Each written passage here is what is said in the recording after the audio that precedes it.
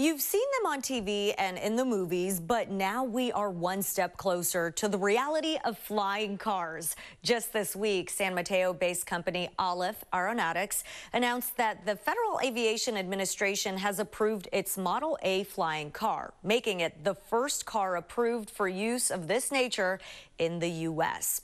Joining me now to talk about this groundbreaking development is the CEO of Alef, Jim Dukhovny. Thank you so much for being here, Jim. Thank you, Karina. Thank you so much. Uh, first, can you talk about why you wanted to build not only an electric car, but an electric flying car, a concept many of us have seen in the movie Back to the Future?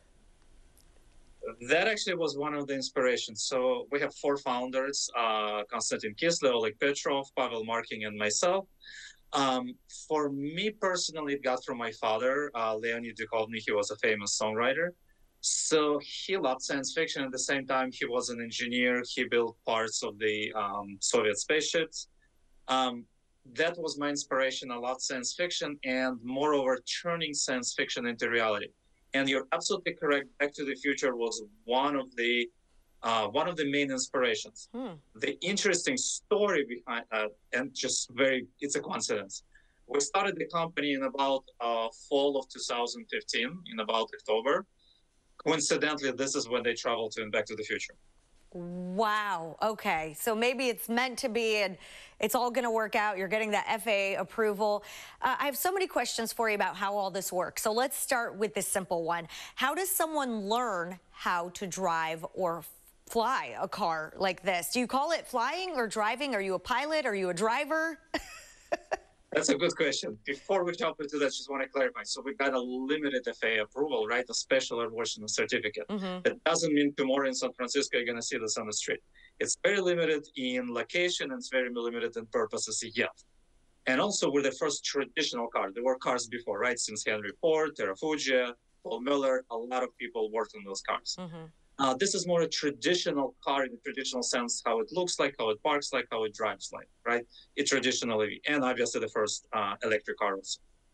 Now getting back to your question. So yes, it looks exactly like a car. It's like just as a regular EV.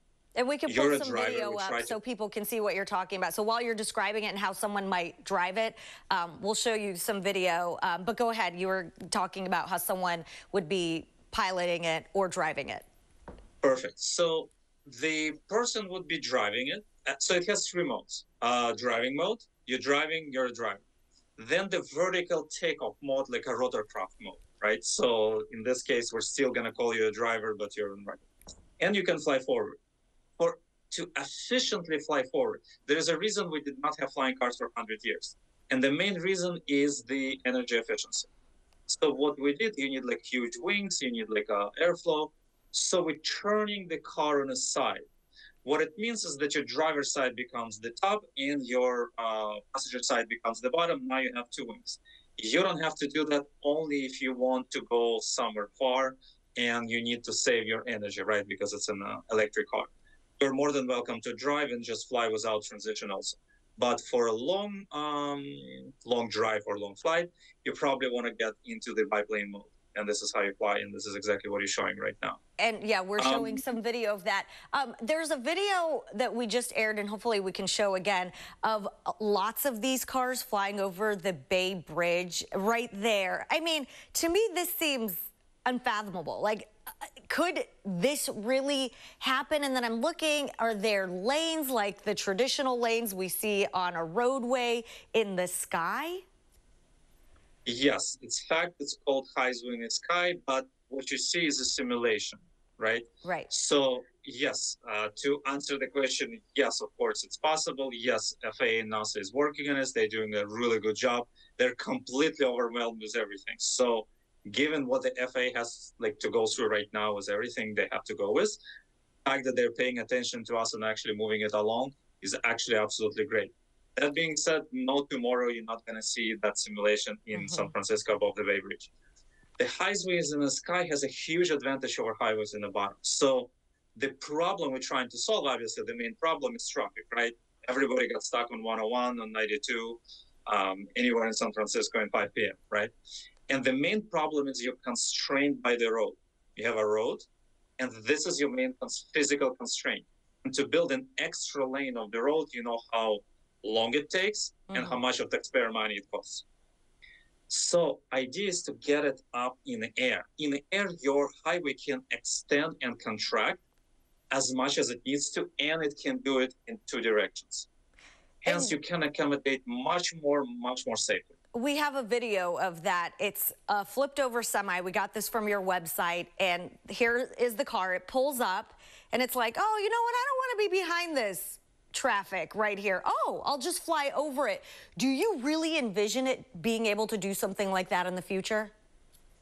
Right. So this is not the future. This is actually a past. Uh, yes, we did that in tests. We actually did pretty something very similar to what you see in the simulation here. Huh.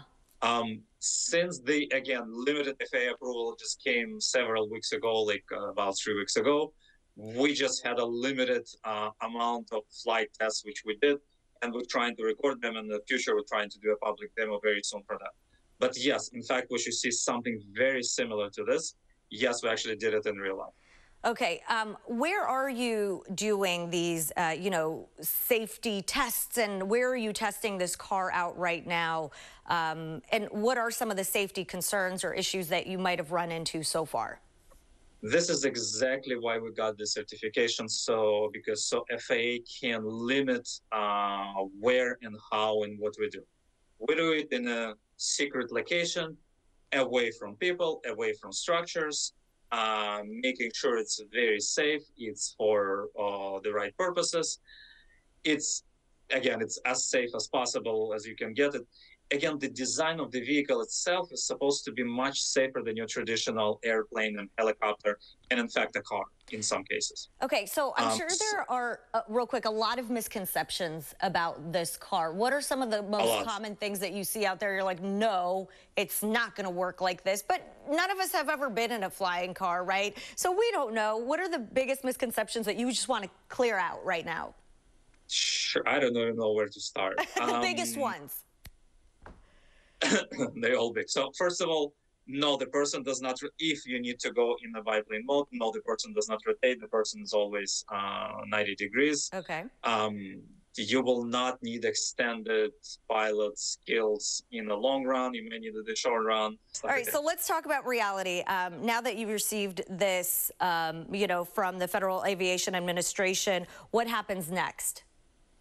Right. So what happens next is a lot more testing. Um, we've done about four years of special testing.